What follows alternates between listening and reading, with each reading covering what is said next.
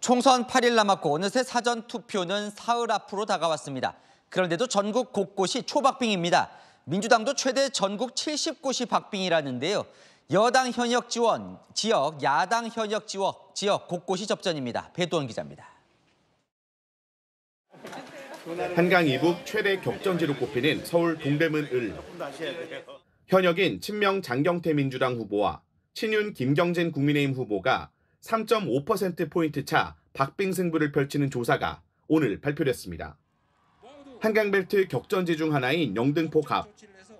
구청장 출신 최현일 민주당 후보와 당적을 여당으로 옮긴 김영주 국민의힘 후보가 접전을 펼치고 있고 경찰 출신 이지은 민주당 후보와 경제통 조정훈 국민의힘 후보가 맞붙는 서울 마포갑도 오차 범위 내 접전입니다.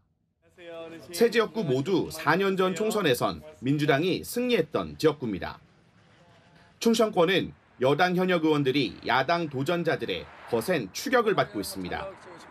박수현 민주당 후보와 현역 정진석 국민의힘 후보의 세 번째 리턴 매치가 펼쳐지는 충남 공주부여 청양.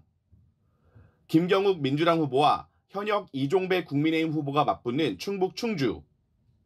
이경용 민주당 후보와 현역 엄태영 국민의힘 후보가 맞붙는 충북 제천 단양까지 초접전 양상입니다. 충북 청주 서원과 청주 상당도 5차 범위 내로 나타났습니다. 전직 경남지사 출신 간 빅매치가 펼쳐진 경남 양산을도 현역인 김두관 민주당 후보와 김태호 국민의힘 후보가 5차 범인의 접전을 펼치고 있습니다.